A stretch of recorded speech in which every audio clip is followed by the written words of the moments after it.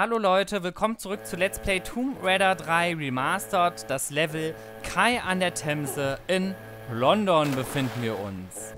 Hier nochmal zurück ins Wasserbecken. Wir haben es jetzt geschafft, den letzten Schalter freigelegt, um hier aus diesem Eulenloch mal rauszukommen.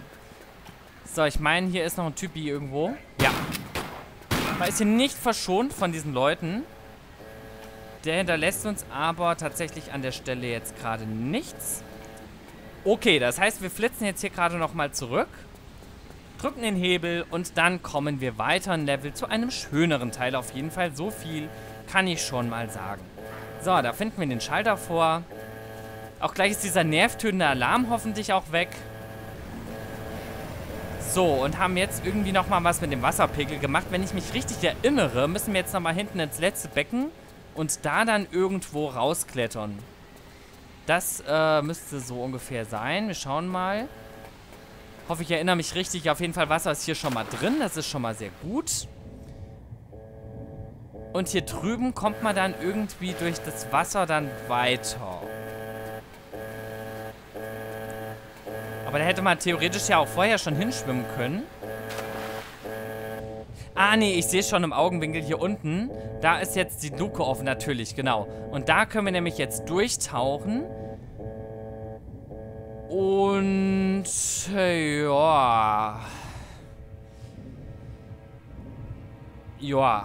Lassen wir jetzt mal die Musik ausklingen, bevor ich euch die Laune vermiese.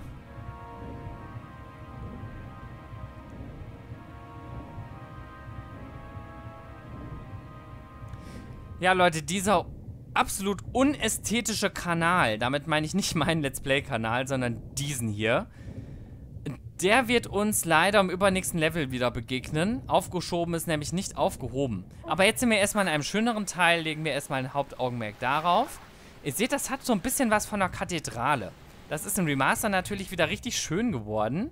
Wenn wir das jetzt so ein bisschen vergleichen, äh, das hat damals auch so einen Blauschimmer gehabt. Ähm, das sah damals schon richtig cool aus. Und das war mal so ein irgendwie schöne Architektur jetzt wieder, nicht so ein olles Loch, wie wir, wo wir gerade waren, in den Wasserspeichern Londons. Das ist wirklich sehr schön und das wirkt natürlich im Remaster auch wieder ganz toll. Und ja, Leute, das ist tatsächlich eine ganz interessante Sache. Weil ich weiß gar nicht, ob ich es jetzt im Remaster überhaupt schon mal erwähnt habe.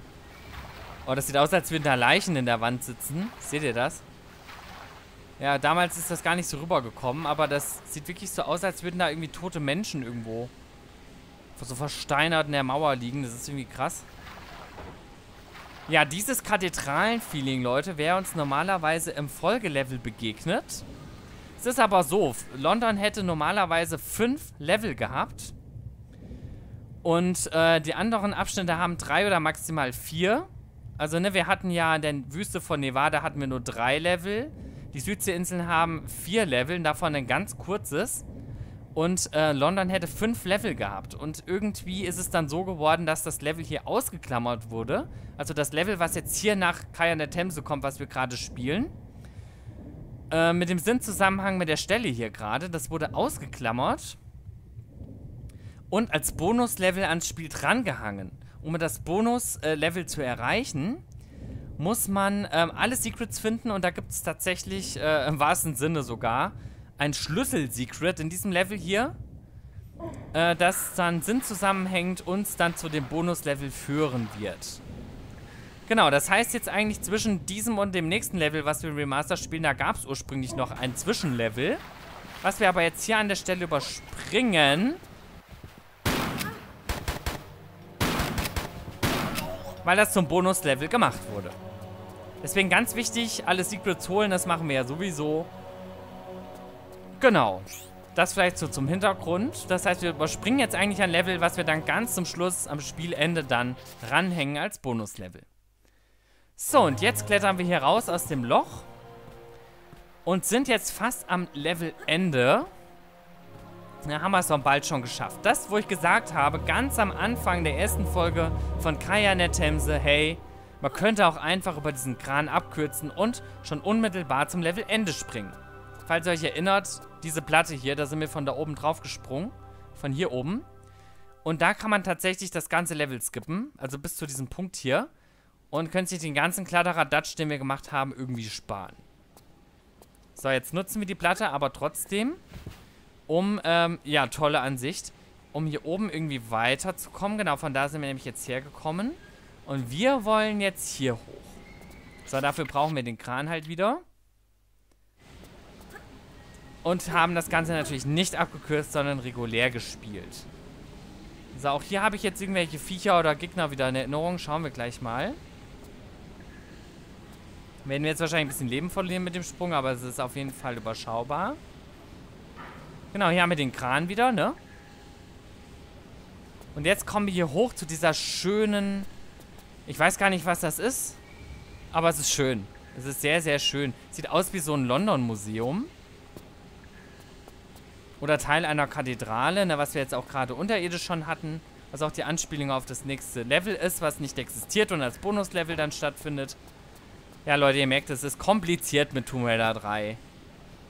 Nicht nur mal viele Alternativwege. Generell ist der Beziehungsstatus mit Tomb Raider 3 kompliziert. Ich will mal gerade gucken, ob hier noch was ist. Da erinnere ich mich nämlich gerade gar nicht dran. Weil da könnte ja noch was rumliegen, oder? Guck mal da. Hier ist doch sogar ein Loch. Na toll. Da ist aber gar nichts. Aber da kann man vielleicht sich reinlassen. Vielleicht findet man da noch ein Goodie, was ich nicht auf dem Schirm habe. Aber wie das auch glitzert hier, ne? Das Licht so auf dem Wasser, was auf den Dachziegeln liegt, finde ich unheimlich schön. Ja, da liegt tatsächlich der Sadil-Munition. Kann ich mich gar nicht dran erinnern, dass ich die mal gefunden habe. Und dafür kann man nämlich hier rein. Kann schon sein, dass ich das mal gefunden habe. Es ist ja wirklich über 10 Jahre her, als ich das letzte Mal Tomb Raider 3 gespielt habe. Aber es kann auch sein, dass ich das damals hier nicht gefunden habe. Freue ich mich auf jeden Fall gerade drüber. Moment. Uns fehlen noch zwei Secrets, ne? Hoffentlich haben wir da jetzt auch nichts verbockt. Also eins weiß ich auf... Ne, es sind noch hier zwei. Es sind noch zwei am Levelende. Alles gut. Weil ich musste da gerade wirklich nochmal kurz in mich gehen. Und so überlegen, also halt, stopp. Äh, dass es gut geht, aber ja. Ich glaube, wir haben alles im Griff, Leute. Alles soweit, so gut.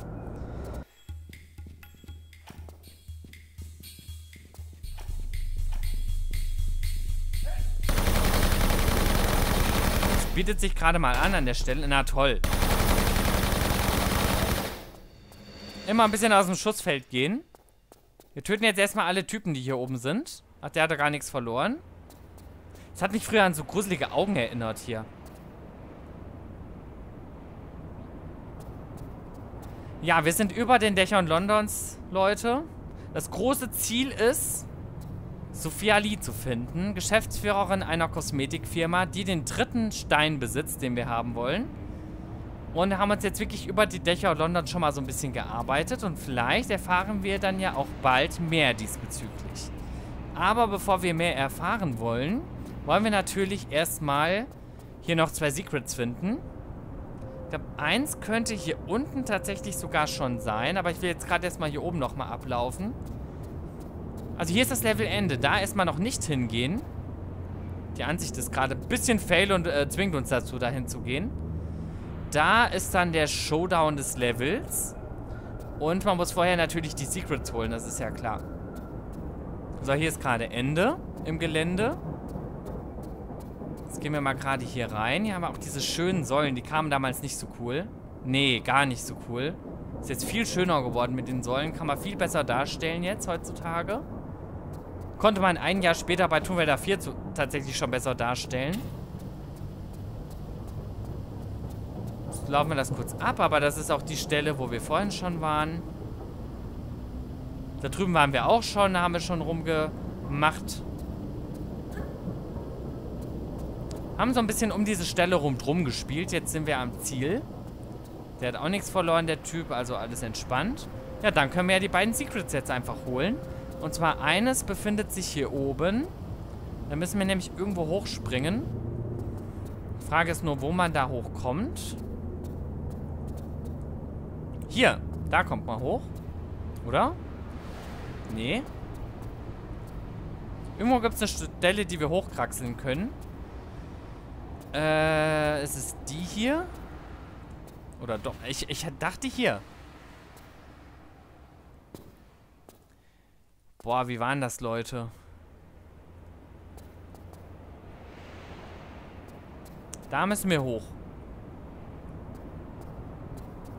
Ich weiß gerade nicht mehr wie.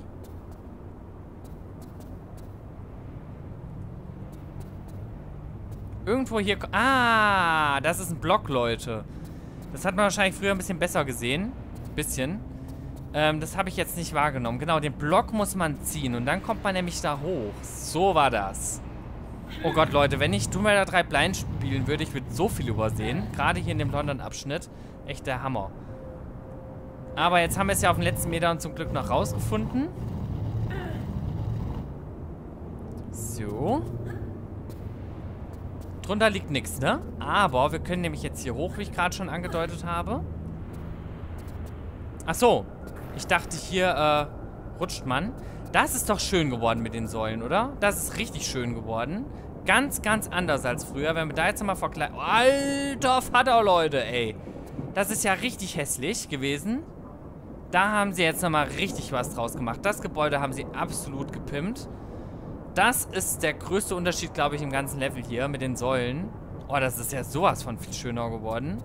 Ist ja richtig krass. So, das ist nicht das Secret, Leute. Sondern finden wir nämlich hier drüben in dem Loch. Ist doch hier, oder? Genau, ein Schlüssel zur Kathedrale.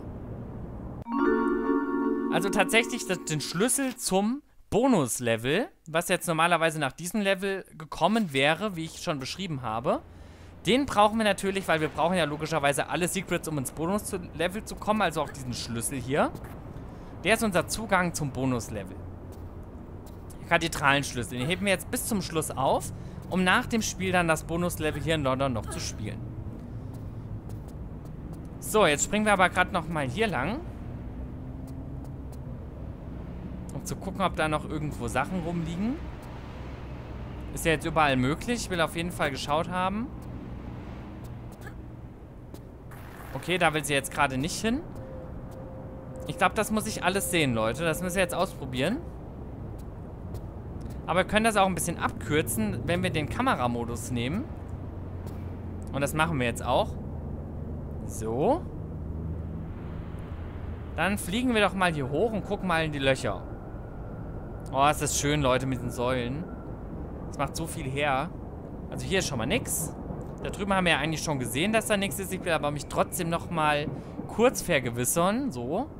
Und da drüben haben wir noch nicht und dann haben wir es schon. Also es ging ja dann doch recht schnell. Da ist auch nichts. Und da auch nicht. Gut. Das heißt, jetzt können wir das letzte Secret holen. Da bin ich ja mal gespannt, wie es um unsere Fundstücke steht. Weil ich habe tatsächlich so das Gefühl, London ist ja gar nicht meins, dass wir hier ganz viele Sachen übersehen werden oder auch haben. Äh, schauen wir mal. Es geht auf jeden Fall erstmal hier eine versteckte Leiter runter zum letzten Secret. Haben wir nämlich jetzt wieder so Dächer mit Stacheltreten und hier geht es ein bisschen noch runter. So. Und da drin ist ein Medipack. Und jetzt steigt die Spannung, Leute. Ja, uns fehlt tatsächlich ein Gegenstand. Aber das wundert mich nicht, weil wie gesagt, London, das ist einfach nicht mein Level. Also mein Abschnitt. Gewesen zumindest früher. Es wird langsam zu meinem, weil ich habe es schon oft genug erwähnt. Es ist sehr, sehr viel schöner geworden. So, ähm, sonst aber hier haben wir jetzt gerade nichts grob fahrlässig übersehen, hoffe ich. Okay. Das heißt, wir können gehen und diese äh, Stelle hinter uns lassen. Jetzt kommt eine kleine Vorschau. Und dann sage ich Ciao. Aber jetzt müssen wir erstmal... Ich will noch einmal rumlaufen, weil wir wissen jetzt, dass uns ein Gegenstand fehlt. Der ja noch irgendwo in der Ecke rumliegen kann, falls wir das jetzt hier nicht hundertprozentig abgelaufen sind. Aber ich glaube, hier fehlt auch nichts mehr. Es sei denn, zwischen dem Stacheltreten da unten nochmal. Kann man höchstens nochmal kurz schauen. Hier waren wir ja. Da haben wir die Desert Eagle Munition ja mitgenommen. Liegt da nicht mehr, ne? Ich würde sagen, wir haben ja noch ein bisschen Zeit übrig für die Folge. Wir können ja einfach mal hier so einen kleinen Rundflug machen. Einfach mal London so ein bisschen abchecken. Mal so ein bisschen gucken. Über die Dächer Londons. Die Zeit nehmen wir uns jetzt einfach mal. Ne, hier mit dem schönen Mond. Skyline haben wir uns ja schon mal angeschaut.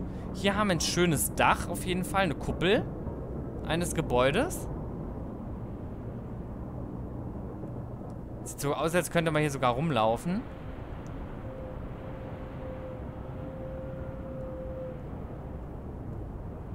So, hier haben wir jetzt eine 2D-Wand. Ne, ist nicht mal. Sogar ausgebaut. Hier waren wir ganz am Level Anfang, wie ihr das erkennt, ne, wo wir das erste Secret geholt haben. Das ist natürlich das Schönste hier an London, dieser Blick. So, jetzt gucken wir aber hier nochmal rein, ob da nicht was liegt. Ach so, ich dachte, da liegt wirklich was, aber das habe ich mir gerade eingebildet. Ich glaube, da war wieder der Wunsch der Vater des Gedanken. Aber das ist aber auch cool, hier so durchzuzoomen. Wollte hier nochmal schauen. Kann ja auch sein, dass hier noch was liegt.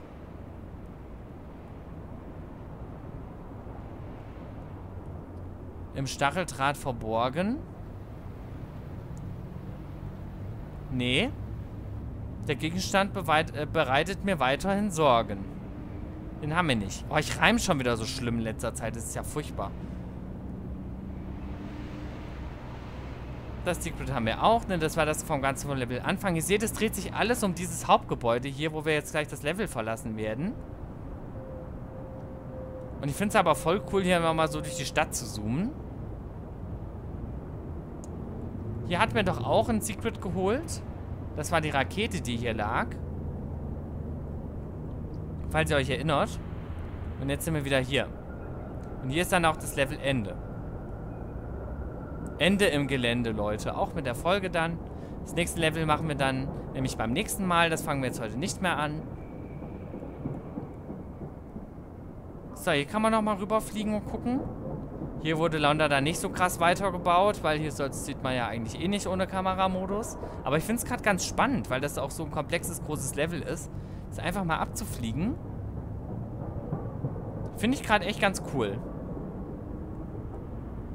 Hier ist dann der Showdown. Da kann man ja auch mal gucken, wie weit es geht. Ne, dunkles schwarzes Loch. Soll ja dann eigentlich in die Kathedrale führen, hier. Tut's aber nicht, weil wir überspringen ja ein Level, habe ich ja erklärt. Ah, und hier wird's jetzt unschön. Na gut, dann haben wir, glaube ich, alles gesehen. Und können jetzt das Level damit verlassen. So, ne, hier haben wir ja auch geguckt, da liegt nichts. Und dann gehen wir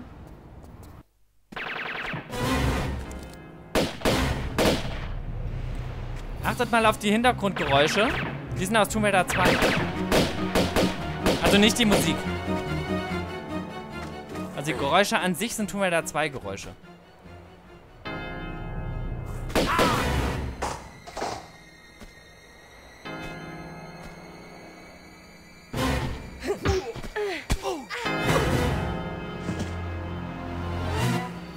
Wer ist dein Auftraggeber? Was? Du weißt schon. Keine Ahnung, ehrlich, wen meinst du? Wer ist dein Auftraggeber? Ah, Miss Sophia Lee! Wer ist das? Was macht sie? Keine Ahnung. Ehrlich nicht. Ich, ich erschieße nur Leute für sie. Eine löbliche Arbeitsmoral, schätze ich. Oh ja, ich bin mit Herzblut dabei.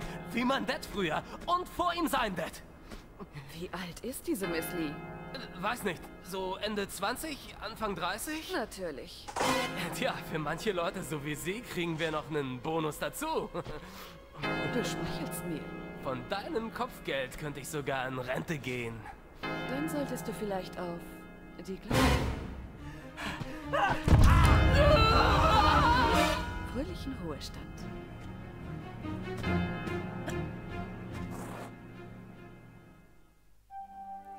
Ja, Leute, das war Kai an der Themse. Ihr habt's gesehen, da war jemand, der Leute für Sophia Lee erschießt. Der Frau müssen wir wirklich mal gehörig auf den Grund gehen. Das war das Level. Wir sehen alle Secrets gefunden. Es fehlt ein Gegenstand. Den schreibe ich wie üblich in die Videobeschreibung an der Stelle, beziehungsweise in der Folge, in der der Gegenstand fehlt oder gewesen wäre. Ja, haben ein kleines Minipack gebraucht. Ansonsten seht ihr alles in der Statistik. wo ich euch nochmal während der Sequenz darauf hingewiesen habe, ganz spannend. Teilweise so diese Geräusche von Schüssen oder Sprüngen oder so, die sind teilweise noch aus Tomb Raider 2, weil es wohl so ist, dass bevor die das Spiel machen, erstmal die Cutscenes damals aufgenommen haben, Core Design, und deswegen auch die alten Geräusche da noch drin hatten vom Vorgängerteil. Ist vielleicht eine ganz interessante Nebeninformation. So, wir sehen uns beim nächsten Mal im nächsten Level wieder. Ich sage ciao und bis dann. Wir lassen jetzt diese schöne Statistikmusik gerade nochmal ausklingen. Ich genieße das gerade.